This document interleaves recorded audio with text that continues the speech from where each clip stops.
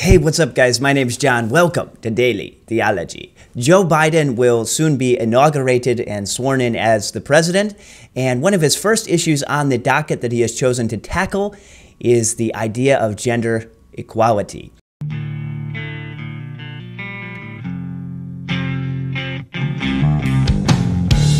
Quarters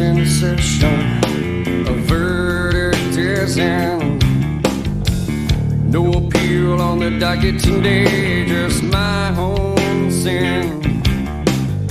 He says transgender equality is the civil rights issue of our day. There's no room for compromise when it comes to basic human rights. Bah! The party of insanity continues to party. Woo! And the problem here, as usual, is they're redefining the entire concept itself. This isn't about equality. This is about totally transforming something away from the correct view, which is male and female, uh, to something that you just declare whatever you want it to be, which is a fantasy land.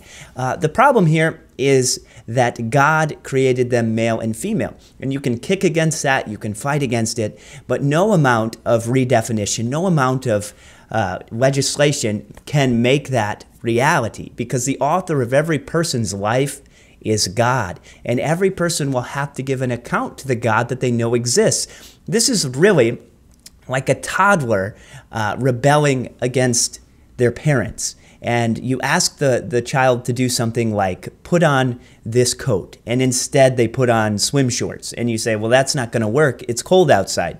Uh, you know it doesn't work, and you know it's bad for the person, but uh, you would not be a very good parent if you let them continue on in that. It's going to be harmful for them. This will be harmful for society. This will be harmful for the country. This will be harmful for every person that has a sane and normative view of gender, male and female, as God has created because this is going to force you to get in line with a false view of reality. This is not uh, true. This is a lie. And when you force people in a culture to go against conscience and go against common sense and reality, you're going to cause severe harm to that society because you're going to uh, embroil these two positions. Now, as Christians, I don't have any enemies. As Christians, we don't have enemies Sin and the devil obviously are our enemies. But uh, this is a problem because when you start telling people that, hey, we have to embrace this, remember it was just marriage equality. It wasn't equality, it was a redefinition of the covenant that God instituted to make uh, families that would create image bearers and train them up in the way that they should go. So this is a total 180. It's a switcheroo, Joe. This isn't true. This is a lie being peddled as truth, and it's harmful for children. This is child abuse, honestly. It really is. Uh, to tell children that they can become uh, girls or whatever you want to say, this, not that long ago, would have gotten parents thrown in the hooskow.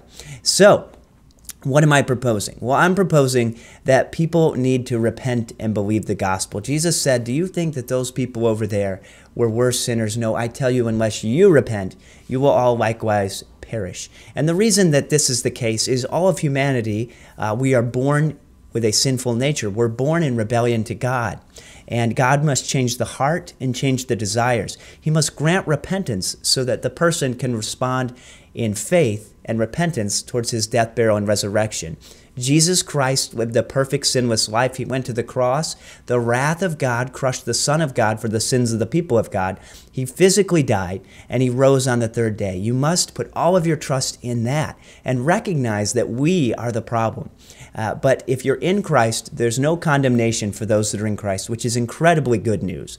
Thanks for watching. Please remember to hammer that like button, like the 95 Theses. If you haven't yet, please subscribe to the channel. Thank you and God bless.